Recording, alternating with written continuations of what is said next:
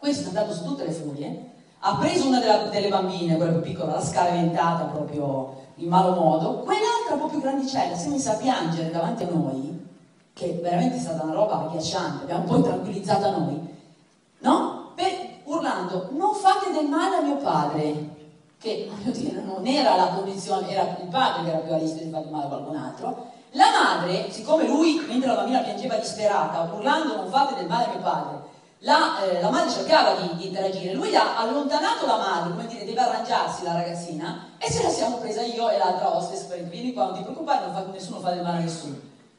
E la madre che ci guardava, cioè mentre noi stavamo rassicurando questa ragazzina che era completamente in angoscia, perché aveva inteso chissà cosa, e probabilmente chissà cos'altro era successo nella loro vita, che poteva aver fatto poi trascendere ulteriormente la situazione, No? E questa donna paralizzata, cioè non è riuscita nemmeno ad avvicinarsi a sua figlia, che era consolata da due perfetti estranei. Cioè, questa è una fotografia di maleducazione in primis, ma di, ma di un, un modello familiare ancora completamente sbagliato, dove questa donna è chiaramente in una condizione di sudditanza fisica, ma soprattutto psicologica.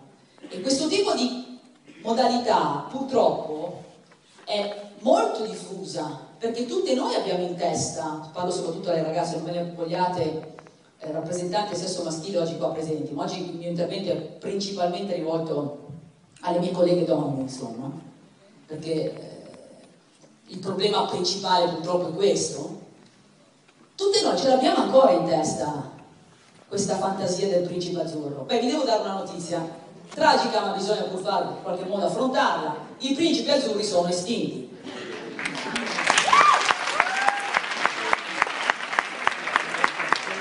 Sono estinti, bisogna farsene una ragione, quindi se una storia non va, non va. È una storia che non va, si interrompe, senza se e senza ma.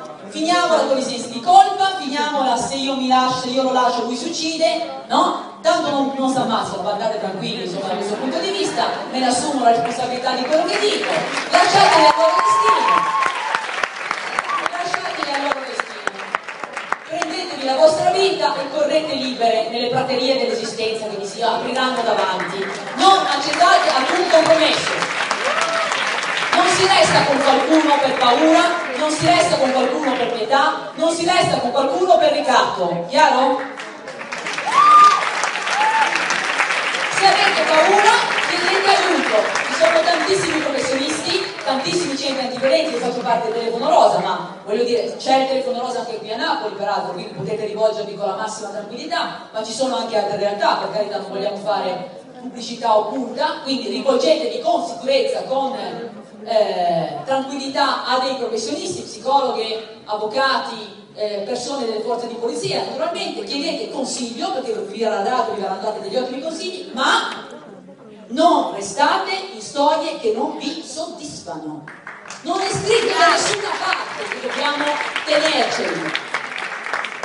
Se una storia non va, e questo vale anche per le ragazzine, eh, se una storia non va, è improntata al controllo, al ricatto, alle botte, alla violenza verbale, alle ingiurie, alla continua incessante eh, eh, modalità che va a mettere in crisi la vostra autostima perché tendono a svalutarvi, no? a farvi sentire insicure di voi, a isolarvi dal contesto di riferimento dei vostri amici, dalla vostra famiglia. Sono tutti indicatori che dovete immediatamente cogliere e deve cogliere anche chi vi sta vicino e vi vuole bene.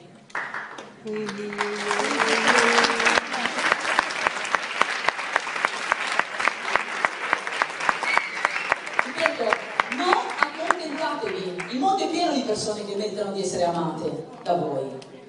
Se qualcosa non va, non va. L'unico modo per cambiare un partner violento, un fidanzato violento, un marito violento, è cambiare partner, marito e fidanzato.